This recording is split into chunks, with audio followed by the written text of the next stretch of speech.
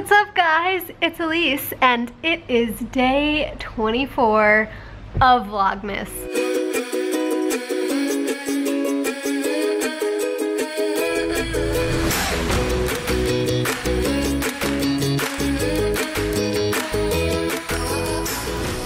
And today I'm going to be sharing a full body workout at the gym so not an at-home workout, but actually like lifting weights and stuff like that. And I'm really excited to share it with you. Addison filmed it for me this morning. I just finished editing and I am getting ready to go over to my friend's house for a Christmas Eve dinner or like early dinner-ish thing. And uh, I'm really excited to share this video with you because I think it'll be really helpful for those of you who have been wanting to start weightlifting but just don't know where to start. None of the moves are very complex and it's going to be voiceover style so I'm explaining how to do everything as the video goes on. So I really hope that this is helpful for you guys. If you like this type of video, definitely give it a thumbs up and let me know in the comments below if you would like to see more voiceover type videos so that you can learn how to work out in the gym effectively with proper form and all that good stuff. So without further ado, I hope you enjoy the video. And I hope that you have an awesome Christmas because this will be uploaded on Christmas. And tomorrow I will be sharing a video with you about what I ate on Christmas. All right, I will see you tomorrow. I love you. Bye.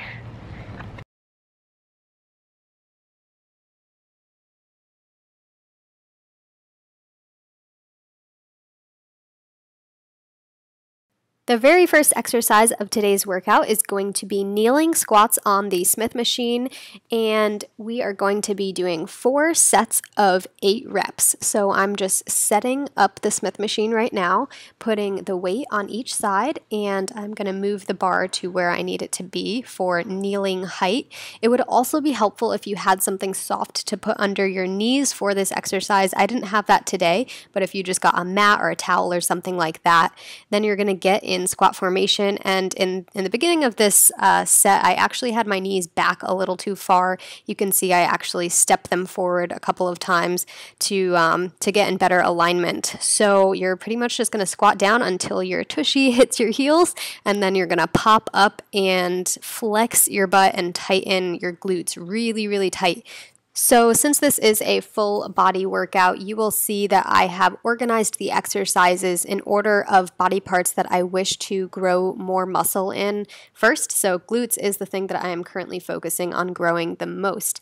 And again, remember to really clench the muscles that you are focusing on for each exercise. This will help in activating them and growing them. So the next exercise is going to be quad focused and it is the leg press. We are also going to be doing four sets of eight reps of this exercise. So right here, I'm just bringing down the leg press to a height that reaches my legs because it's always way too high up for me. Now I'm thinking about a weight to grab. Make sure that the weight is challenging, but also something you, that you can do which allows you to complete the full amount of eight reps. So then I'm going to get back into the leg press machine and start doing my reps. So you want to make sure that you are comfortable in this machine before you release the leg press plate um, to start doing your reps. You want to make sure you're comfortable. And then I always bring my knees all the way down to my chest and push up for a full extension. You don't want to lock your legs, but you do want to extend them. Another thing to remember is just focus on what you're doing at this point in time. Don't think about anything else. Focus in on your workout.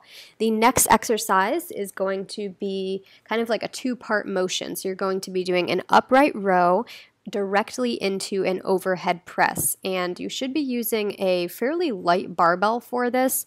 Um, unfortunately, the gym that I'm going to only has the EZ bar, which is the kind of wavy bar. It would be much easier to do with a straight bar, so if you do have those at your gym, I would definitely opt for that. You would probably want to be using somewhere between 10 and 30 pounds if you are a beginner to this.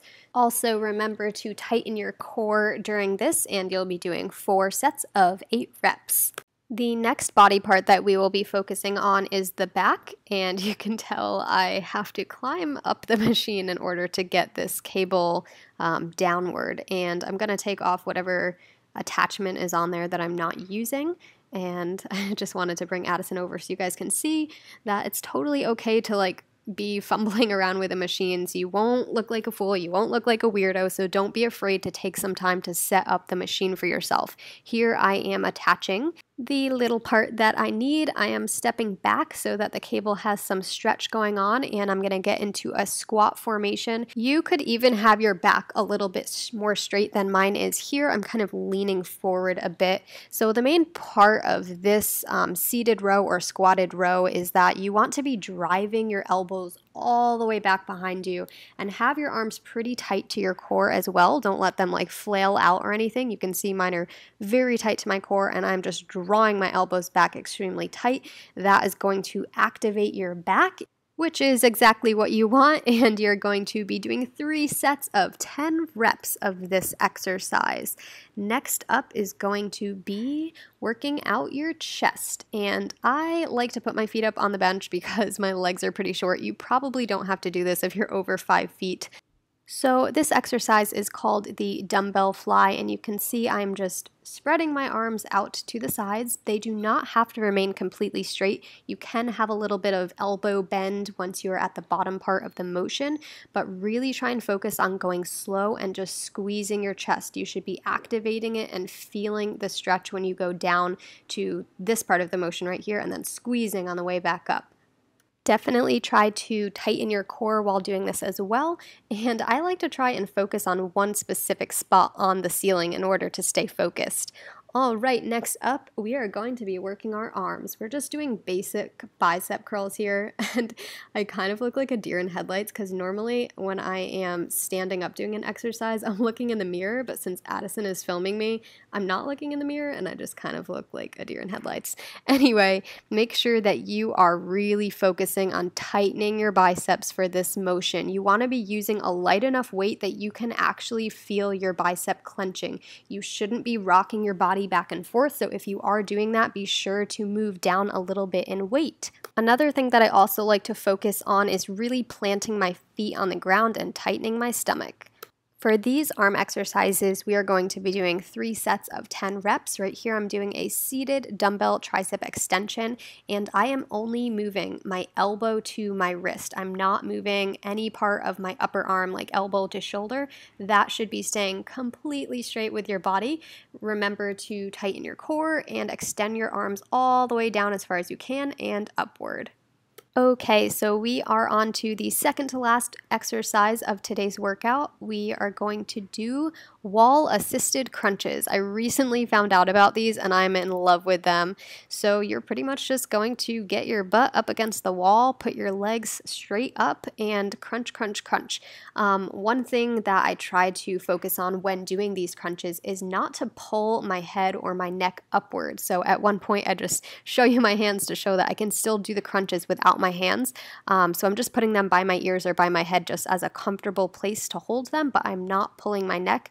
I'm really um, crunching upward with my abs. You can see them working here. The next exercise is also an ab exercise, and we're going to be doing two sets of 15 reps for both ab exercises. I have a little light dumbbell in between my feet, and I am perched up on a bench and I'm kind of doing like a V up style crunch holding on to the sides of the bench and really trying to extend out as long as I can and crunch up as tight as I can.